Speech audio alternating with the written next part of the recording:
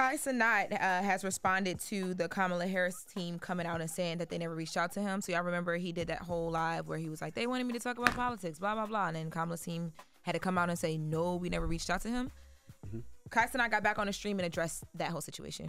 So better not be lying to us. Kamala Harris campaign did not draft Kai Cenat. Chat. I want you to know something deeply, okay? First of all, let me let me let me t- let me tell y'all something real quick. And this is why I don't touch on the topic of politics, chat. Word to my mother, watch the clip back. I didn't even say no names. And on top of that, word to my mother, I would never lie about anything. Just know that. Just know that. Just know that. One, I didn't say no names. And two, word to my mother, I would never lie on anything. That is whack. Well, Kai didn't lie. He didn't. But see, here's the thing, because you said it this morning. You were like, well, somebody had been said to me that he didn't mention no names. And then I went back and watched it three times at three different locations because I wanted to make sure I was watching the full. Mm-hmm. He didn't say a name when he was he about Secret to, Service. Yeah, when he was about to say a name because he was talking about how the girl said we need you for the campaign. He said what campaign? He said uh uh uh we're not gonna get into details. Like he didn't want to say a right. candidate. But he said Secret Service, which makes you feel like which made people feel like it was Kamala Harris because he said Secret Service. But, but Donald Trump said Secret, Secret Service. as well. Yeah. Well, he also didn't lie because he did get reached out to, just not by Kamala's team. He got reached out to by a third party organization with informal ties to the convention team. Kamala's team said that themselves. So Kamala's team, uh, they they didn't have somebody reach out to him, but somebody definitely did reach out to him. It was just like I said, a third party organization with informal ties to the convention. So it wasn't Secret Service. But he's saying the, the, it wasn't Kamala's team. I feel like the way he's saying it in the second clip is almost like like that definitely happened. We know that, right? Mm-hmm. But I feel like he's saying that there was someone who reached out to him for a candidate to sit down with him, but he didn't tell us who it was, so he didn't technically lie about Kamala because he never said it was Kamala. Well, there's a lot of third party organizations who are doing things like that though. Like they'll they'll reach out to people, they'll send text messages, or they'll call, or they'll ask you, "Do you want to be a part? Can you can we can we count on you for help with this campaign?" Mm-hmm. You saw Dr. Umar post something the other day saying Kamala's team reached out to him. That wasn't true either. You know what I mean? I was but, say, but, what? But, I mean, but he did get reached out to. Is what I'm saying. It's mm-hmm. just not Kamala's team. It's right. these third party organizations that are doing this on their own. Well, speaking of a third party, there's another party in the situation that would love to sit down and have a conversation with Kamala. Mm-hmm. Meek Mill. Mm. So Meek tweeted yesterday, I want to ask Kamala Harris questions about her past as a DA. Even if she had to be tough, all I hear is rumors of her. I would ask her three questions about black and brown men going to prison and her views and try to help her understand from a survival standpoint she may have never had to encounter. So he is a, he's trying to get more information from Kamala about the rumors and the conversations that people are having about did she put black and brown men in jail because of drug convictions and different things. Listen, I have no problem with that. Y'all can laugh at Meek Mill all y'all want, but Meek Mill is uh, assisted in getting legis- has assisted in actually getting legislation passed. Meek has championed certain mm-hmm. legislation that has actually got passed in Pennsylvania. The probation reform bill, like that was Meek, along with Governor Josh yep. Shapiro and, and Michael Rubin and others. Like like so, I have no problem with that. Yep. Let me ask you a question. This has been something that people have been asking about for the last. I mean, when she was running, didn't she answer these questions already? Because I thought that these were things that she addressed when she was running for president. I've never. I don't. Yeah, remember. there's plenty of interviews where she addressed that. Right? Yeah.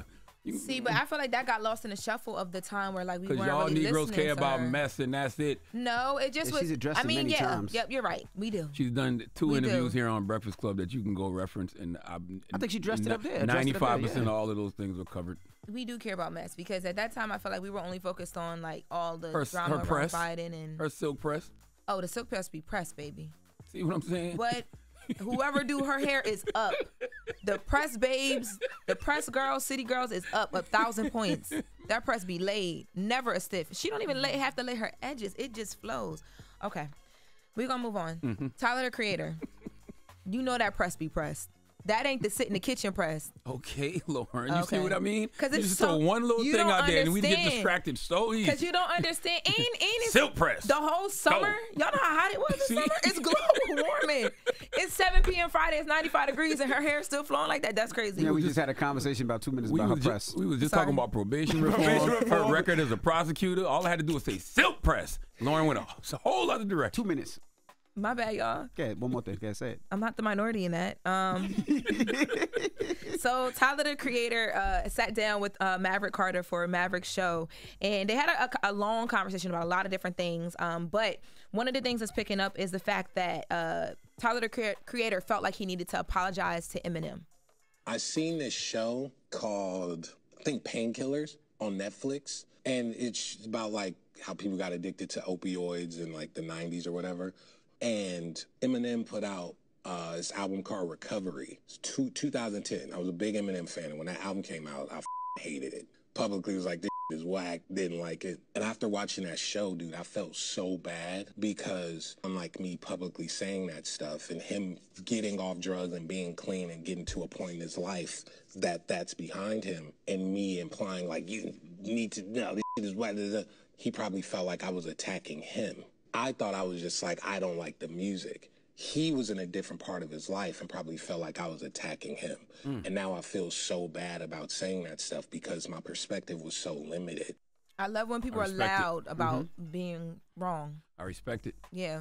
And I think that that's important too because a lot of times with artists, people give them hell when they get into a different place in their life. It's like, oh, they don't make the same music. They can't rap no more. They can't Right. this. And it's just like, no, they people grow. Things, yeah. Mm-hmm. And being able to be vulnerable is a thing now. But back then when Eminem was doing it, wasn't too many artists that was coming out talking about the addictions and the different things that were happening. So that's good to hear. But I mean, that is the worst. Nothing worse than letting a joke fly or a well-timed insult, and then you find out they're going through something traumatic.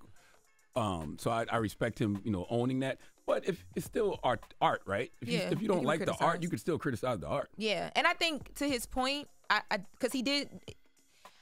Yeah, I just think it was more so about like he was he didn't like the subject matter. He wanted the old M or, or whatever. So, um, but he also talked a lot about uh we don't we're not got time for this. So we wrapping up. Go ahead, finish your thought. We talked a lot, he talked a lot about the industry itself changing from 2016 when he first came out to now and how like the internet and people feeling like they know celebrities makes it hard because people just like run up on you and things of that mm-hmm. nature. And then when you don't like it you get labeled as like the crazy person.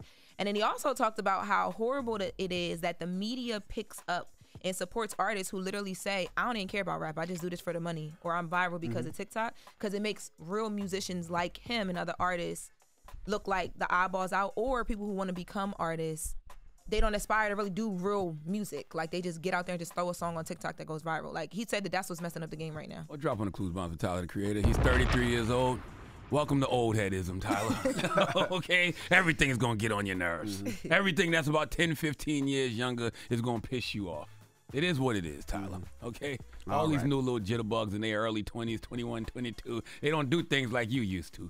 But remember, 10 years ago, Tyler was in that same boat. Yo, that's why it was crazy to hear There was him people say that. criticizing him the same way he's criticizing folks now. It's okay, Tyler. Welcome to the club. Yeah, but, but I think with Tyler too, I think his his problem is he really gets busy. He can really rap. He- yes. So it's He's like dope. you know he, he plays a lot of them, them stupid games and he jokes a lot, but he really can rap. yeah for You know, sure at the end of the he's a musician He is. All right. Well, that is just with the mess with Lauren LaRosa. Now, Charlamagne, who are you giving that donkey to? There's a judge in Detroit. His name is Judge Kenneth King. He needs to come to the front of the congregation. I would really like to have a word with him. All right. He and then, pissed me off. And then after, we'll open up the phone lines and discuss. 800 585 1051 is the Breakfast Club. Good morning. Wake that ass up. Early in the morning. The Breakfast Club.